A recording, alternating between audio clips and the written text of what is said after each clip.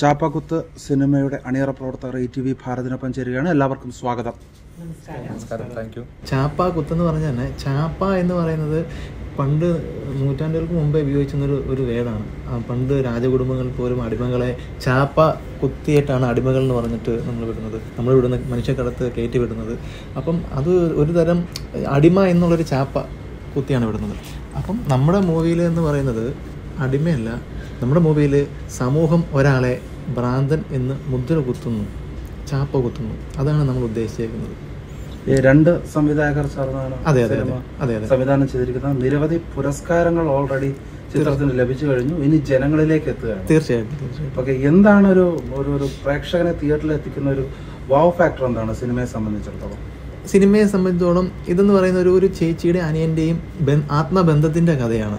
അതുപോലെ തന്നെ ഒരു മനോഹരമായ ഒരു ലൊക്കേഷനിൽ വെച്ചിട്ടാണ് ഈ സിനിമ ഷൂട്ട് ചെയ്തിരിക്കുന്നത്. ഒരു ഐലൻഡ് പോലൊരു സ്ഥലത്തിൽ കായലിന്റെയും കടലിന്റെയും പശ്ചാത്തലത്തിൽ പറയുന്ന ഒരു തനി നാടൻ സിനിമയാണ് ഇത്.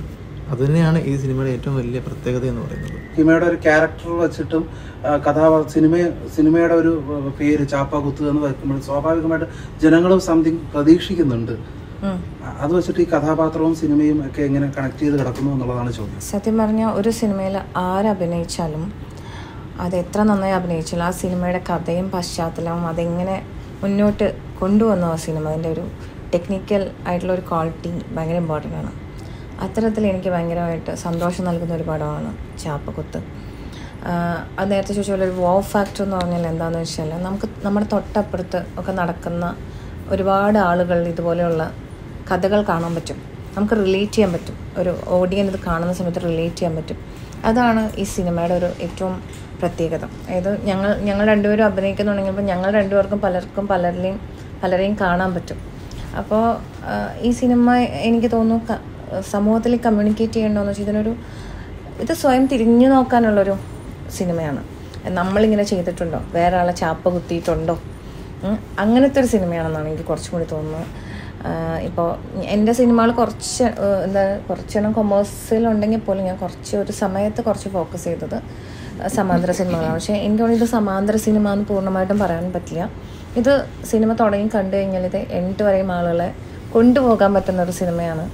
അപ്പോൾ ഒരു നല്ല മ്യൂസിക്കലായിട്ടുള്ള വളരെ മനോഹരമായ പാട്ടുകളുള്ള ബാക്ക്ഗ്രൗണ്ട് മ്യൂസിക്കുള്ള വളരെ ഭയങ്കര സൂപ്പർ ലൊക്കേഷൻസ് ഉള്ള അങ്ങനത്തെ ഒരു സിനിമ തന്നെയാണ് ഈ ചാപ്പകുത്തപ്പ. ഈ സിനിമയുടെ കഥ ഹിമയോട് നരേറ്റ് ചെയ്യുന്ന സമയത്ത് ഏത് എലമെന്റിലാണ് അത് ഹുക്ക് ചെയ്തത്? സത്യം പറഞ്ഞ ഈ ഒരുപക്ഷെ സിനിമ ചെയ്യണോ വേണ്ടോ എന്ന് താങ്കളുടെ പേഴ്സണൽ തീരുമാനമാണ് അല്ല ഇതിലെ ഹുക്ക് ചെയ്ത എലമെന്റ് ആണ് ഇതിന്റെ ഇതിന്റെ പേരല്ല ഈ പേര് ഉണ്ടാവുന്നതിന് മുമ്പ് ഈ സിനിമയുടെ ടോട്ടൽ സ്റ്റോറിയിൽ ഈ സ്റ്റാമ്പിംഗ് എന്ന് പറഞ്ഞിട്ട് ഒരു അവസ്ഥയുണ്ട്. അതായത് ടോട്ടൽ സ്റ്റോറിയിൽ അപ്പോൾ ഈ കഥാപാത്രത്തിന്റെ കഥാപാത്രത്തിന്റെ മനസ് മനസ്സും അല്ലെങ്കിൽ നമ്മൾ ജീവിച്ച കുറേ ചുറ്റുപാടുകൾ നമുക്ക് ഫേസ് ചെയ്യേണ്ടി വന്നിട്ടുള്ള കുറേ ചാപ്പകുത്തലുകളും ഒക്കെ എനിക്കതിലേക്ക് എന്നെ ഒരു നമ്മൾ ഒരു ലിങ്കിങ് പോയിന്റ് ആയിട്ട് നിന്നു. അപ്പോൾ എന്റെ മനസ്സിൽ ഈ ക്യാരക്ടർ കേട്ടപ്പോൾ അത് കിടന്നു. അപ്പോൾ അങ്ങനെയാണ് ഞാൻ പറഞ്ഞത് ഓക്കെ ഞാൻ വരാം. നല്ല പണിയുണ്ട് പക്ഷെ ഞാൻ ചെയ്യാത്ത ടൈപ്പ് ഒരു ക്യാരക്ടറാണ് പക്ഷെ ഞാൻ വരാം എന്ന് പറയുന്നത്. ആ ഒരു ലിങ്കിങ് ഭയങ്കരമായിട്ട് കിട്ടി. എന്റെ പേര് ജോളി ഷിബു. ഞാൻ ഒരു പ്രൊഡ്യൂസർ മാത്രമല്ല ഒരു ഡബ്ബിംഗ് ആർട്ടിസ്റ്റും കൂടിയാണ്. കാരണം വന്ന വഴി ഞാൻ തിരിഞ്ഞു നോക്കണമല്ലോ. ഡബ്ബിങ്ങിൽ കൂടിയാണ് എനിക്കിതിനൊരു പ്രചോദനം കിട്ടിയത്. അപ്പം ഞാൻ മനഃപൂർവം ഈ റിസ്ക് എടുത്തതാണ്. കാരണം എന്റെ ജീവിതത്തിലെ വലിയൊരു ആംബിഷൻസ് ആയിരുന്നു. ഒരു പടം നിർമ്മിക്കുക അല്ലെങ്കിൽ ഒരു പ്രൊഡ്യൂസറിന്റെ മേലങ്കി അണിയുക എന്നുള്ളത് എന്റെ ജീവിതത്തിലെ വലിയൊരു താല്പര്യമായിരുന്നു. അപ്പോൾ അങ്ങനെ ഇരിക്കുമ്പോഴത്തേക്കാണ് ഞാൻ പറഞ്ഞിരുന്നു കോവിഡിന് ശേഷം ഞാനൊരു പടം എടുക്കുമെന്ന് ഒന്ന് പറഞ്ഞു പോയത് അതെങ്ങനെയോ ബൈ ചാൻസ് എനിക്ക് ഈ നവാഗതരായ രണ്ട് പിള്ളേർ അജേഷാണ് മഹേഷ്. ക്യാരക്ടർ വൈസിൽ അവർ നല്ല കുട്ടികളാണ്. പുതിയതായിട്ട് വന്നിരിക്കുന്നതാണ്. അപ്പം കഥയും കൊണ്ടുവന്ന് നമ്മുടെ പടത്തിൽ അഭിനയിച്ചിരിക്കുന്ന ടോം സ്കോട്ടാണ് ഇവരെ രണ്ടുപേരെ എന്നെ പരിചയപ്പെടുത്തുന്നത്. ചേച്ചി ഇങ്ങനെ ഒരു നല്ലൊരു സബ്ജക്റ്റ് ഉണ്ട് ചേച്ചി ഒന്ന് കേട്ട് നോക്ക്. ഒരു ആംഗളപങ്ങളുടെ സബ്ജക്റ്റാണ് മനം ബ്യൂട്ടിഫുള്ളായ പ്രമേയമാണ്. ചേച്ചി ഒന്ന് കേട്ട് നോക്കാൻ പറഞ്ഞു.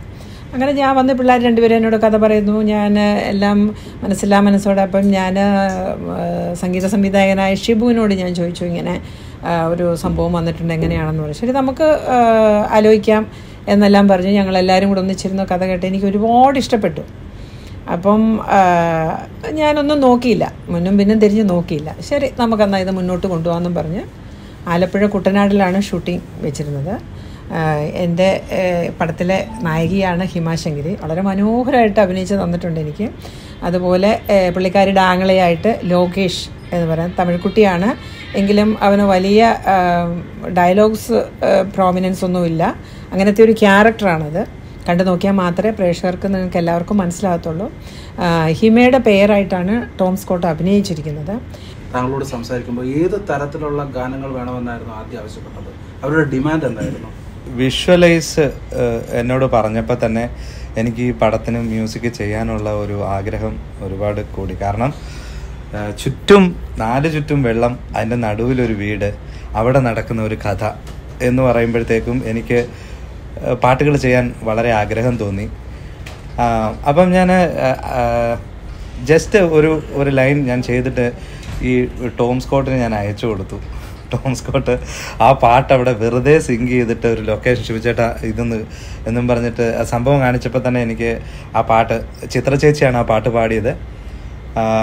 ആ, ആ, അത് എന്റെ ഒരു വലിയൊരു അനുഗ്രഹമാണ് ചേച്ചിയെ കൊണ്ട് പാടിക്കാൻ പറ്റിയത്. ചേച്ചി അത് വളരെ മനോഹരമായിട്ട് പാടുകയും ചെയ്തു. ആ പാട്ട് ഇതിനകത്തൊരു വലിയ ആ സീനിൽ ഹിമ ആ, സീൻ ഭയങ്കരമായിട്ട് പെർഫോം ചെയ്തിട്ടുണ്ട്. ലിറിക്സ് ഒക്കെ ചെയ്തത് ആരാണ്?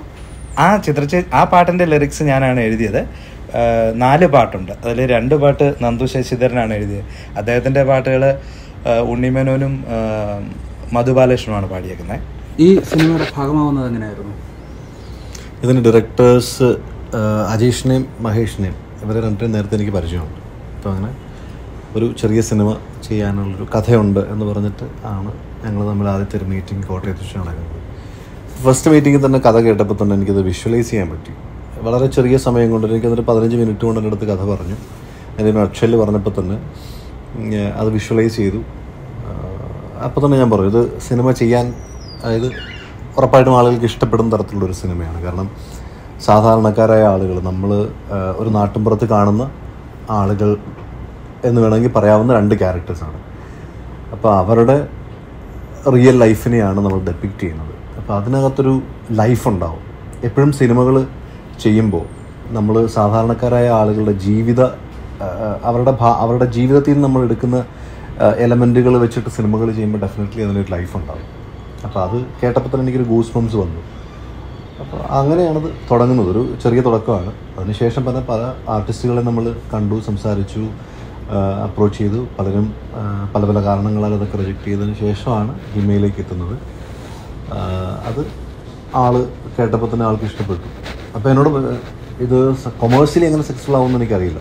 ഡെഫിനറ്റ്ലി ഇത് കുറേ അവാർഡുകൾ കിട്ടാനുള്ള സാധ്യതകളുണ്ട്. കാരണം അതൊരു ലൈഫിനെ ഡെപ്പിക്റ്റ് ചെയ്യുന്നൊരു സിനിമയായതുകൊണ്ട് ഡെഫിനറ്റ്ലി അന്നത്തെ എന്റെ ഒരു എന്താ പറയുക എന്റെ ഒരു തോട്ട് കറക്റ്റ് ആയിരുന്നു എന്നുള്ളതാണ് ഈ പുറകിൽ കാണുന്ന അവാർഡുകൾ ഇത്രയും. താങ്കളുടെ കഥാപാത്രം തിയേറ്ററുകളിൽ പ്രേക്ഷകരോട് എന്താണ് സംവദിക്കാൻ പോകുന്നത്? എന്റെ കഥാപാത്രമല്ല സംവദിക്കാൻ പോകുന്നത്. എന്റെ കഥാപാത്രം അതിൽ വളരെ ആ സംവേദനത്തിനുള്ളൊരു ഉപാധിയാണ്. ശരിക്കും പറഞ്ഞാൽ എന്റെ അനിയന്റെ കഥാപാത്രമാണ് ശരിക്കും ഒരു ചോദ്യചിഹ്നമായിട്ട് അവിടെ നിൽക്കുക. എല്ലാവരുടെ മനസ്സിലേക്കും ചെന്ന് കയറുന്നൊരു കഥാപാത്രമായിട്ട് നിൽക്കുക. അതൊരു ഭ്രാന്ത് ഉണ്ടായിരുന്ന ഒരു മനുഷ്യൻ അത് മാറുമ്പോൾ എന്താണ് അവന്റെ അവസ്ഥ? അതാണ്. അപ്പോൾ അതെല്ലാ ഇങ്ങനെ ഉള്ള ആളുകളെ മുൻകൂട്ടി ജഡ്ജ് ചെയ്തിട്ടുള്ള എല്ലാവരും ഒരു ക്വസ്റ്റ്യൻ മാർക്ക് പോലെ ആ കഥാപാത്രത്തിനെ കാണും.